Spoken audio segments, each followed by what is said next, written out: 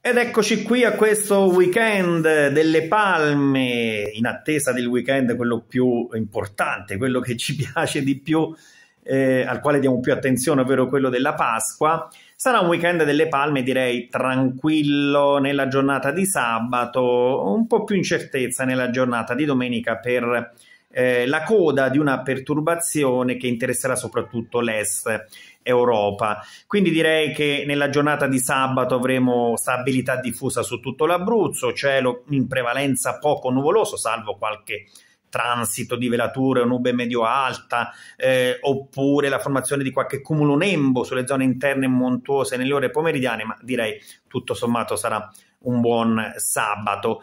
Eh, ventilazione debole o moderata, il rinforzo durante il corso della giornata da ponente e da sud. Il mare risulterà mosso, le temperature senza variazioni di rilievo. Eccoci all'incertezza della domenica. Questa incertezza è relegata soprattutto nella seconda parte di giornata. Quando avremo un aumento della nuvolosità si potrà accendere qua e là per l'Abruzzo, un po' a macchia di leopardo, il rischio per qualche acquazzone, qualche locale rovescio o anche qualche locale e breve temporale, eventualmente nevoso. La quota neve sarà eh, oltre 1400-1500 metri.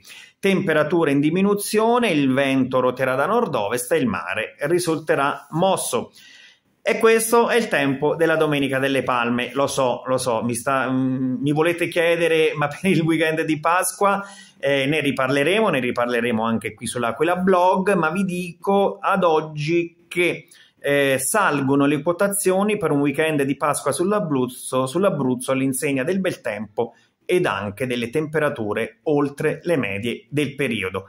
Per ora salgono le quotazioni, ma non possiamo assolutamente sciogliere la prognosi. La scioglieremo nel corso dei prossimi giorni.